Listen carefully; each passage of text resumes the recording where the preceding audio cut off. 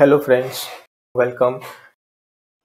So now let me also give you some information on uh, like when we uh, perform when we do activation deactivation then where exactly this information stored into the uh, database okay so when we do activation deactivation plugin keep those uh, information into the options table so here i can check here active uh, plugins I believe this is the same. Yeah. So this is the option name active plugins here in the serialized format.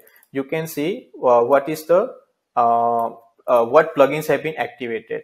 So this option only save the plugins name uh, list of the plugins which is activated, not the uh, deactivated. Okay. So currently it's hello.php file because only hello. Uh, hello dolly plugin is activated.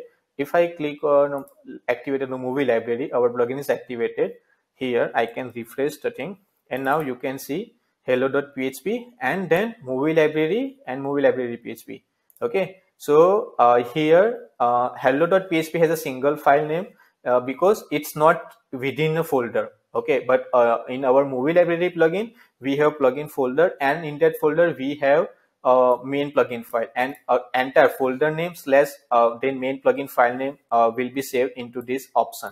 And this way it will load the file hello.php and movie library in the sequence in in uh, it will load the plugins in the activation sequence. Like when we sequence the plugins have been activated. Okay? So for example sometimes you know um, the developers face uh, problems like a user face the problem like when they activated a plugin and and plugin causing the fatal error and it's done. Like it's a blank screen or anything kind of thing. So um, uh, uh, some of uh, like developers like we use choose to delete a plugin from the plugins folder and like it's fine. Like once the plugin is deleted uh, even if it's activated in the database it won't load because wordpress couldn't find that file so it won't load and our site is back.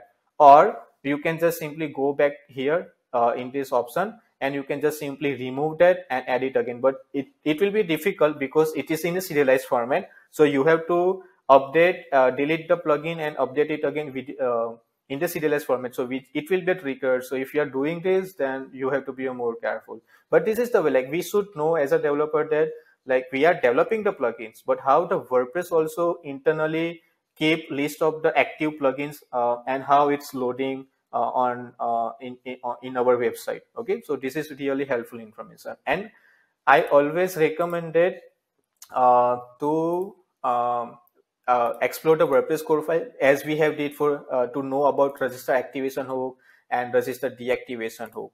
Okay, so those uh, exploring the WordPress functions uh, into the core file is very helpful. And we will know some other information as well, like when this function have been introduced and when it's it's modified and everything. Okay, so so yeah, um, so this is the first step about uh, creating the plugin. So in this video, we have learned what is plugin, why we make plugins, and what are the plugins basics we needed to create a plugin. Okay. So yeah, uh, you can now try it out creating the simple plugin at yourself in your local uh, environment setup and see how how and how you can create a plugins. Like you, I know that you have some awesome idea uh, and you can convert those idea into the plugins. Okay. Um, see you on the next video. Uh, Jai WordPress.